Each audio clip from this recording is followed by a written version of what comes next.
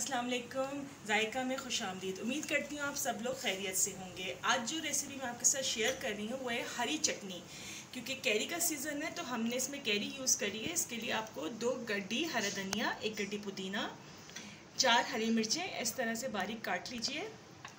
Carry दो अदद square pieces में कर लीजिए, खट्टी मीठी यानी पकी हुई और थोड़ी सी कच्ची।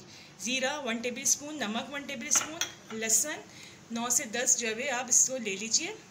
इन सबको हम ब्लेंडर में ब्लेंड करेंगे। और मैं आपको बताती हूँ, लेकिन जब कैरी का सीज़न ना हो तो आप इमली यूज़ कर सकते हैं, नींबू भी यूज़ कर सकते हैं।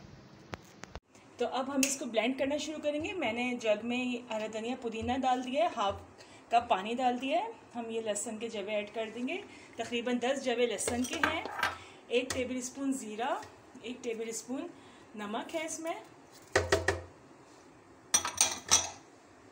कैरी, दो अदद कच्ची पक्की।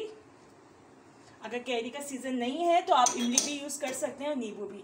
हरी मिर्ची, चार अदद बारीक काट लें।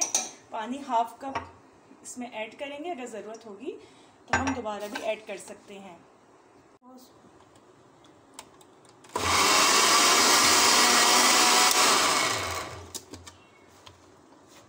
ये मिक्सअप कर दें ताकि पानी इसमें ऐड है आप ये